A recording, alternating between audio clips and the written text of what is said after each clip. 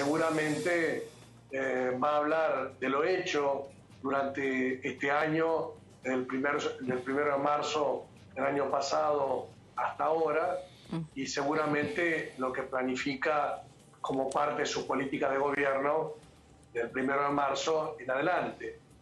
Eh, por estas horas se está avanzando en la negociación con el Fondo Monetario Internacional. Es muy probable que antes de esa fecha se pueda arribar a un acuerdo y pueda ingresar el texto de la ley al Congreso de la Nación.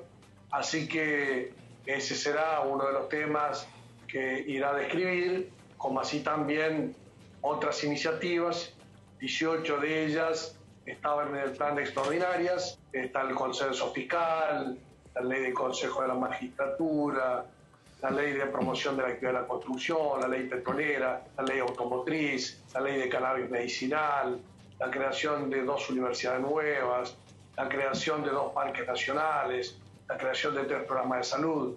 Describo los 18 temas que estaban previstos en extraordinarias, más otros temas más que seguramente el presidente irá a presentar el primero. Claro.